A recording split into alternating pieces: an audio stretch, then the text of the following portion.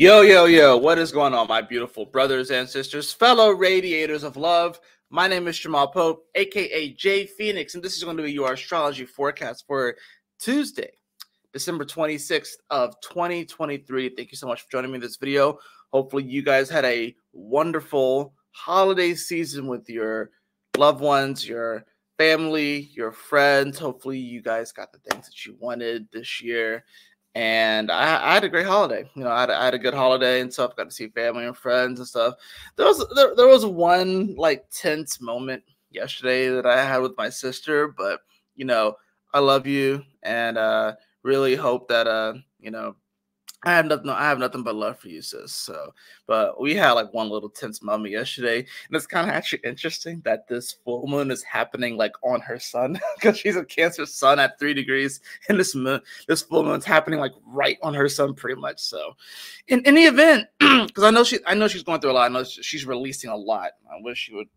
Sometimes I do wish that my family would like ask me about the astrology. I don't go to them about the astrology because that's just one of those cardinal rules that you just don't per se give unsolicited advice. Now, astrology is integrated into my daily language, but as far as like actually just giving like like particular unsolicited advice, that's like one of those cardinal rules that you just don't break in as an astrologer. But sometimes I do wish my family would ask like, "Hey, what's going on in the stars?" And I'm like, "Ah," and like, "Hey, how are the stars affecting me today?" I'm like, "Ah," but you know, I choose I obviously choose not to do that because it's just it's unsolicited and it's not. It is what it is, you know what I'm saying. So, in any event, hopefully you guys have a very had a wonderful holiday. Let's go and hop into the transits for today. I, I, don't plan on making this video super, super long, and it's a little bit later for me getting this video out. But we do have a full moon in Cancer today. That full moon will be happening at 4 degrees 58 minutes of Cancer. Now, what's interesting about this full moon, of course, is that you have the sun, which will be in trine to Jupiter today. Um, it's not exact, but it's still in trine to Jupiter. Jupiter here at 5 degrees of Taurus. We also have Mercury in square to Neptune for this Mercury, which is still retrograde, which will be coming direct in just a few days' time. And then, of course, Mars is actually involved with this as well. Even though Mars isn't exactly squaring Neptune, is certainly uh, within that two degree orb, adds a bit of spice to this square. This is not a bad full moon. I would say that it's a little odd, it's a little auspicious. I, I would say that this is a full moon where we can actually release a lot of stuck emotions you know, anytime that you get a full moon, yeah, generally it's about releasing and stuff like that. This is a full moon where we can release a lot of stuck emotions, a lot of stuck energy. And being that this is four degrees, almost five degrees, it makes this full moon very Uranian and very mercurial. And because it's in that first decade, it really has to do with the self. I would say even more so, it has to probably deal with more childhood stuff too.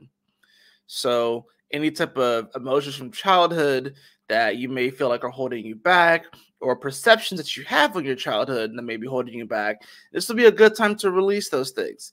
I also said that because we, of course, do have Mercury and Mars, like I said, in Sagittarius, which is all about our vision, and the Neptune in Pisces, which, like I said, this can be all about the way that we are perceiving, you know, and it's all the mutable signs are about perception, right? So, how are we perceiving this reality? What thoughts are going into that? What actions are we going to that? What beliefs do we have that are causing, that are structuring the way that we perceive our lives, the way that we perceive society, and ask ourselves, you know, is this positive in nature? Is this uplifting in nature? Is this going to contribute to my expansion from a spiritual sense? Or is this something that's going to hold me back? I think with the full moon like this, being that being that it is at this cusp of the fourth to fifth degree, like I said, it's pretty Uranian and it's very mercurial. So it's very air. I feel like this is a full moon where we can release a lot of this communication, if you will, or these different ideas, these different thoughts that have contributed to us feeling the ways that we feel about certain things, right? Now, of course, like I said, the sun in Capricorn is still in to Jupiter, which is still retrograde in Taurus. This is about acknowledging those beautiful things that we still do have in our life and building from that place where we may feel like, you know, and maybe we're not exactly where we thought we were going to be. You know, maybe we don't have the things that we thought we are going to have or the amount of money that we thought we were going to have. But I'm sure if you look around you, you can see just how much stuff, like physical stuff that you've accumulated. But also, hopefully, the holidays here were a great reminder of, you know, even if things aren't like perfect, even if you may not necessarily see eye to eye with your with your family and your friends, they're still there. And this is gonna be this is gonna be very, very fucking important going to 2024 because we need the connection and we need the warmth that can come from family and unconditional love more than ever going into 2024, going into the middle of this decade of the 2020s because we are about to experience a lot of disclosures, a lot of revealments, a lot of revelations. We're about to experience this sort of pendulum swing, if you will, where I feel like in many ways we have taken things to the extremes too far. And hitting the middle of this decade, which will see Pluto fully move into Aquarius, which will see Neptune move into Aries, right? Which will see Uranus move into Gemini. We have a lot of shifting energy that's happening and a lot of energy that no one alive has experienced. Like I said, Pluto going into Aquarius, right? This, these are these outer planets are moving from the latter signs of the zodiac into the early signs of the zodiac. So this is going to be one of those moments where we are having to process so much collective subconscious shit that sometimes we can confuse it for our own. Sometimes we can look at someone else's trauma and trials and tribulation and use that as a filter when we look back at our own memories. And then we can get confused and be like, you know what? I experienced that as well. And we do that because we want to connect with people. The four degrees is Uranian. So it wants to feel like it belongs somewhere. So sometimes we do that. It, we do it in the positive and the negative. Sometimes in the like in the positive, say if you feel like you want to belong with someone, say if you want to I don't know. Let's say you feel like you belong, you know, making a million dollars, whatever, right? Maybe you surround yourself with people that make a million dollars. That could be more on the positive side, I guess you could say, if that's what you really want. But let's say that you feel like you belong feeling like a victim. So then you surround yourself with people that are victims and you put yourself in this echo chamber but then you look back at your own life, you look back at your memories, and those memories start to alter because of the filter that you put on them. Now, that's not to say that you didn't go through challenges in the past. I'm just saying that I feel like that there's a lot of people out there that have this filter when it comes back when it comes to looking at their past, when it comes to looking through these memories and looking at their childhood and painting them in a certain way that it seems so traumatic when really it's not as traumatic as you think it is. Now, that's going to seem very, very insensitive to some people. But I do feel like the next decade is going to start to reveal a lot of that. And it's going to start to reveal, or some people are going to look back and be like, maybe that wasn't as bad as I thought it was. Which is why I think it's important to mend those relationships that you can mend. Mend those relationships that, you know, like I said, that you can mend. I think that that's super important going into this uh this the second half of this decade. Let's read the Sabian symbol for four degrees, right? Uh, let's see. I already got it pulled up here. At a railroad crossing, a car races with a train. This symbol implies the desire or the ability to complete with or take on society as if life were a race or something to be conquered. The car is a vehicle for the individual, and the train is a vehicle for the masses. There is often a need for caution. The individual will not always survive a collision with the most with the more powerful collective.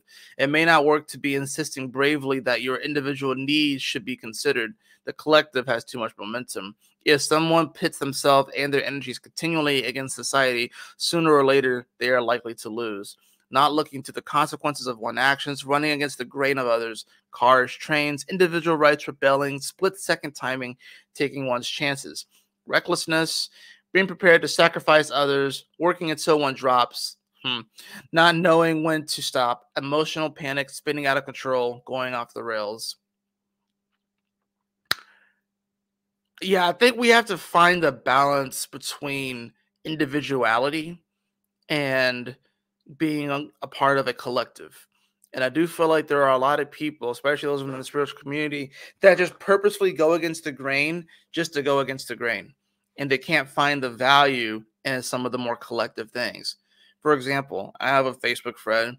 She was talking about how being a part of the spiritual community for years had her being a Grinch during the Christmas time, and she didn't even realize it. But she loves Christmas. You know, she has a she has a husband, beautiful kids, and everything like that.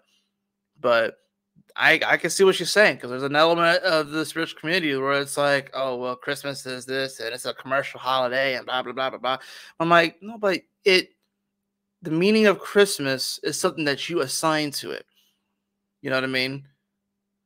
And you can still participate in some of these collective celebrations eh, despite what you may have learned or despite whatever preconceived notions that you have coming into it. So I can see that. Sometimes I feel like those of us in the spiritual community, we may go against the grain simply for going against the grain, and we can't accept we can't accept or see any value of kind of going along with the collective and I think we all have those things. For example, I love football, right? I'm, I'm huge. I'm huge into sports.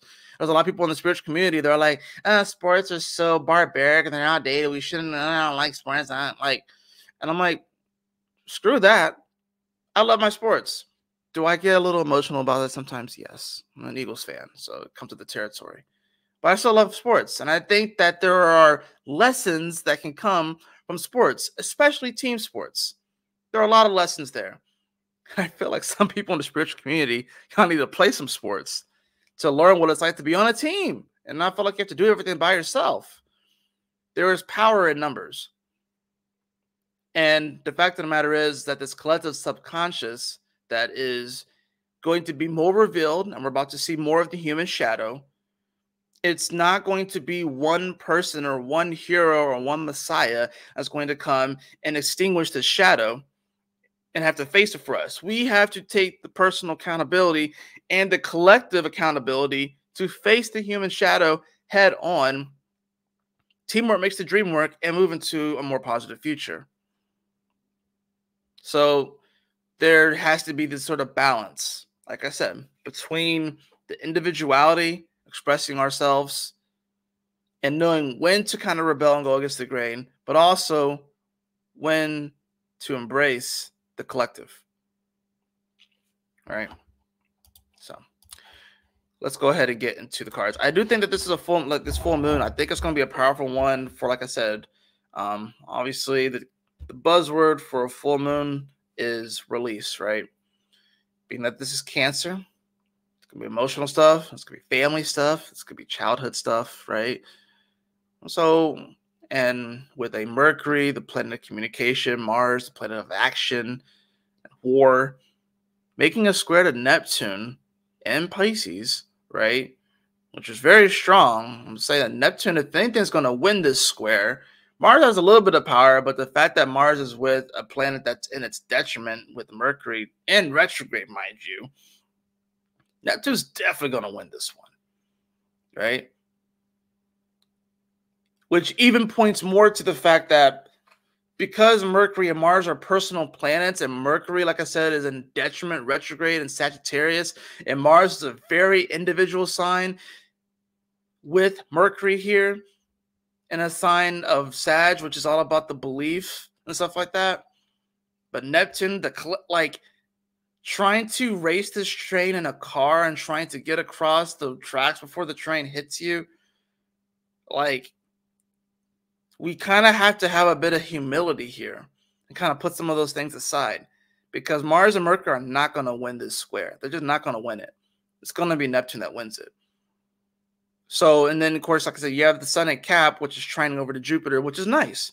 It's beautiful. It's harmonious so the, this is a full moon where we really are having to release a lot of these preconceived notions and a lot of these stuck emotions that we have that are acting like anchors to our energy. Emotions are water. They're meant to move and flow. But if we hold on to them they can become like anchors. They can become like those like those like those like chain like those iron balls like those chains if you will. Or like it can be like the fucking hold on. Let's see the mario uh let's see. The freaking uh what's it called? The freaking the thing in mario the, like the ball whatever like that dang it i don't i can't remember what they're freaking called but oh this bitch this thing right here like that this is what stuck emotions can become Hold on, let me. Like this right here, right? They become like this ball with the freaking teeth that barks for some reason, which is ironic actually. Because when I when I think of cancer, I think of werewolves. As far as like a mystical creature. makes sense, right? They become werewolves during the full moon and shit. They get their power from the full moon as do vampires, ironically, and they, they kind of vampires are Libra, my uh, by the way, but like this is what I think about. It's like this. Oh, the chomp, yeah, the chain chomp. You know. And what, what's crazy too is that like this thing, and then you'll wonder why people can't get close to you. It's because you have this fucking chain chomp surrounding you and when someone gets close, it, it tries to freaking bite their head off. And then you're wondering, like, oh, well, how come I can't be close to people? It's because you have these stuck emotions that you can't, that you haven't allowed to process. You've gone through multiple moon cycles and you haven't been able to properly release these things via meditation, via grounding, via forgiveness, humility, practicing gratitude. So that's when people try to get close to you, this thing comes off at people and bites their ass. So we gotta we gotta learn how to release those emotions. We gotta learn how to allow those things to move through. Yeah, I know it can be difficult. We all I think we all have stuck emotions, but over time they coalesce and turn into one of these guys. And then, like I said, you wonder why you can't get close to people. It's because you have such a guard up. I think it's there's a difference between establishing healthy emotional boundaries and establishing boundaries where this guy is guarding you. You know what I'm saying? There's a difference between those two. So, anyways,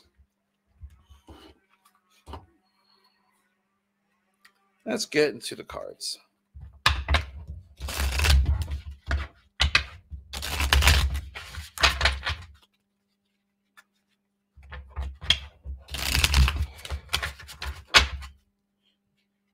I'm using one of my favorite decks today.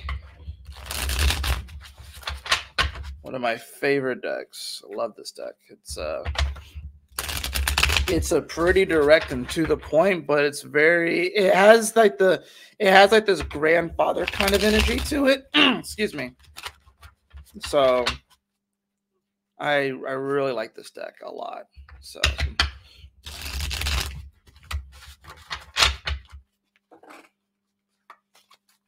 All right, so what do we have for the full moon in Cancer? Well, we have the Two of Cups. Oh, I mean, we, you could definitely connect with someone in a more powerful, more intimate way. But are you afraid of that intimacy? Are you afraid to let that person in? Are you afraid to do the healing work, the shadow work? But this is about connecting consciously with somebody. Doesn't have to be a lover, although it can be a lover, but it can be a family member, it can be a friend. But this is about connecting empathically with someone on a deeper level and sharing that intimacy. And like I said, intimacy doesn't mean a lover, it doesn't mean sex. But Then it's another thing that we kind of have to recalibrate is what is intimacy? But that's what this card is. It's a card of intimacy. We also have we do have the chariot card in reverse. Now, I think this is interesting, you know, with this card. You know, there's, there could be this feeling where we want to feel like we've arrived at something, that we want to feel like we are achieving some sort of victory. I think this is one of those things where, you know, maybe we feel like, you know, we feel like we have to just go out into the world and achieve all these things and achieve all these successes and have all of these things. I think this is about realizing the successes that are already here, the victories that we have already achieved. You know what I mean? I, I don't think that we feel like, I don't think we have to go all the way out into the world. And remember, this is Mercury, Mars, and Sag. Sag is all about kind of going out and traveling and seeing the world and exploring. But this is square to Neptune, and Neptune's going to win this square. So, uh, you know, this is, you know, we don't need to feel like we have to go way out there for all the answers. The answers are probably a lot closer to home than we realize. And that can be scary for some people because some people don't necessarily have a great relationship with their home, with their family. And they're always seeking something outside of themselves, something way, way out there. And really, you don't have to travel that far to find those answers. Bottom of the deck, we do have the Five of Pentacles in reverse, right? Five of Pentacles in reverse. Yeah, so there's no need to feel like you're on the outside looking in. There's no need to feel like someone like these. What's cool about this card is that it shows like these three, like, I see them as like businessmen, right? But they're like controlling this dude's fate, and there's like a freaking, what was that, like a lynx that's like falling with them. There's actually five of them, right? And he feels like he's at the whim of these external forces. But this is reverse. So you don't have to feel like you're at the whim of all of these external sources or powerful people around you or people with money and influence and blah blah blah blah blah whatever. You don't have to feel like you're on the outside looking in, right? You know, feeling like you're left out, right? And who knows, maybe that game that they play, maybe you want to be left out of it. Because if that was a game that was really worth playing,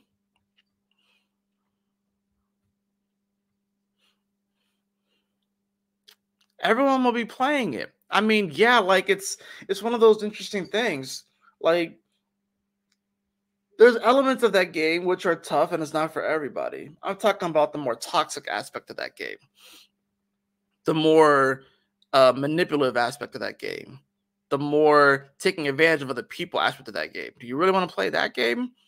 Just because it seems like they have the cars and the yachts and the, the private jets and the this and the that and the whatever, right? But are they happy? Are they fulfilled? Are they connected spiritually? Because even they still have problems. It just looks like they have problems in a 5,000 square foot house instead of a 1,000 square foot apartment. But they still have their issues as well. So that's what I'm saying. Like, no, there's like no amount of money that you can make is going to just eliminate a lot of these issues. This is a collective. This is a collective evolution that we are going through and a collective shadow that we have to face no matter where you are on the on the financial ladder and stuff like that. So don't feel like you are don't have this feeling that you are being left out because you're not. Because you're still here. You're on you're in this human experience, you're in this plane of existence, you're experiencing this, and everybody has their role and everyone has their unique superpowers and their unique gifts the answers are a lot closer to home than we realize. That's where the intimacy really is. We don't need to feel like we have to go way, way out there to find something. It's actually a lot closer to home than we realize. that is going to do it for your full moon and Cancer astrology forecast.